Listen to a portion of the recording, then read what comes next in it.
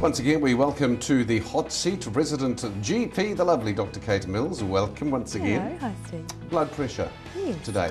Um, other day, lift was broken here at work. We're on the second floor. Uh-huh. Right? Mm-hmm. I had to use the stairs, two flights of stairs, up and down, several times in that day. Mm-hmm. Uh, high blood pressure. Well, yes, your blood pressure does go up with exercise. It did. I, I'm Yeah. telling you, it did. It was absolutely shocking. Um, but what is it? Blood pressure. So, blood pressure is simply a measure of the pressure inside the blood vessels. So, Pump in, pump out. exactly. Yep. Pump in, pump. And, and you have two uh, two parts to blood pressure. So you have a, um, a higher number, and that's the pressure when the heart is contracting. So it's pushing the blood. That's its maximum pressure through all the blood vessels. And the bottom figure is a reflection of the heart's resting pressure.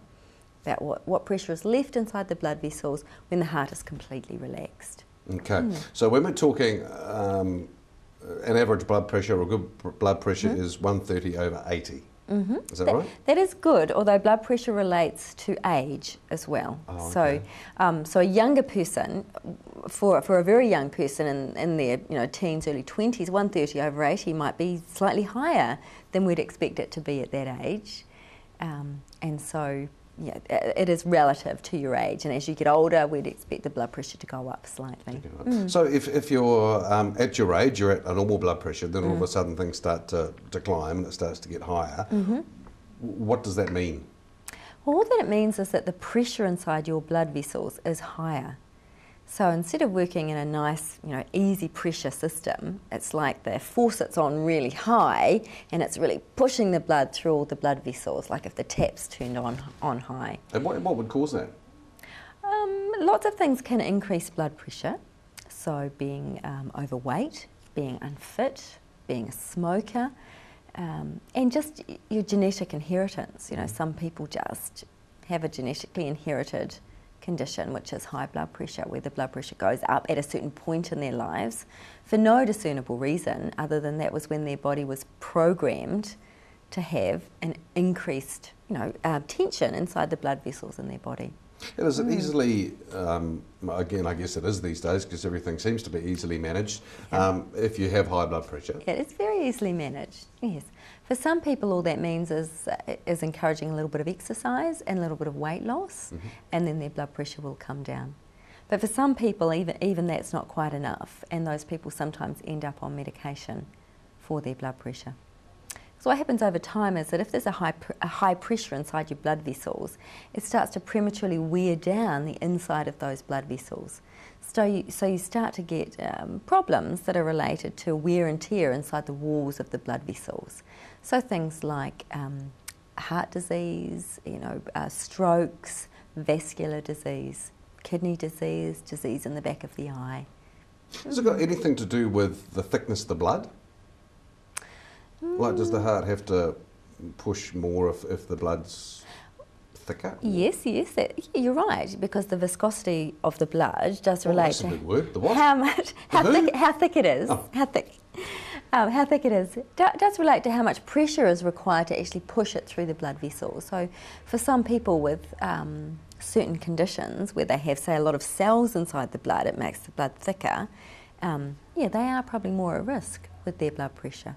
And is like high blood pressure compared to low blood pressure, is there anyone uh, of those more dangerous? Well, high blood pressure is dangerous over a long period of time. Right. It's not. It's not dangerous on a couple of occasions because obviously everybody's blood pressure fluctuates depending on activity. So yes, when you climb the stairs, your blood pressure goes up, but then soon after, you know, you finish doing that, it's Soon after? It's gone back down to normal because you're so exceptionally fit Yes. that it goes down really quickly. And um, but for, for some people, if they have high blood pressure all the time, day after day, 24 hours a day, then their blood vessels start to have that wear and tear inside far more quickly. Um, whereas low blood pressure is a problem at the time that it's actually low, because it sometimes puts you at risk when it is very low. Um, and so, for example, people with low blood pressure often feel quite tired and mm-hmm. lethargic and quite lightheaded because the pressure of actually trying to get the blood up to the brain is just not very strong, so there's not as much blood getting up there and circulating. And it also causes difficulty sometimes when you stand up suddenly, because when you're sitting down in a chair, all of a sudden you stand up and the blood goes whoom, with gravity down to your legs. And then in those moments, sometimes there's not quite enough blood getting up to the brain and you might feel a bit lightheaded and a bit woozy. Mm. Sometimes people faint. faint with that, with, with their blood pressure. Mm. So, what is fainting? Well, fainting is simply that the, the brain is not getting enough oxygen. So it tells the body it wants to lie down because it's going to get oxygen much more easily when you're lying ah. down than when you're standing up. So just shut you off for a minute to get you down yeah. on the floor? Yes. Mm. Oh, for goodness sake. Yeah. Uh, what can we do? Uh, I know we're running out of time, but what uh, perhaps three simple things we can do to have good blood pressure? So, um, exercise? Exercise, uh, maintain a healthy weight, and healthy low salt diet. Low salt? Low salt diet. Low salt. Mm. Difference between iodized salt and non iodized? Iodized salt's important for your thyroid gland. Yes, so the iodine is added for other reasons, not related to blood pressure. Well, we could mm. go on for hours, couldn't we? Mm. What are we going to talk about next time? Do we know, Naomi? Sleep. Sleep. Sleep. We talk about sleep. We'll talk about sleep next time. Dr. Cate, always a pleasure. You're welcome, Steve. And uh, thank goodness the lift is fixed. Yeah. Blood pressure back to normal. Uh, thanks for joining us. The end of another uh, show here on City News. Any information you'd like on the program? Very simple. We're nice people, aren't we? We're not mm. scary. Oh, great. Fantastic. chat with us. Uh, mm. 0734 or flick us an email news at tvrotorua.co.nz.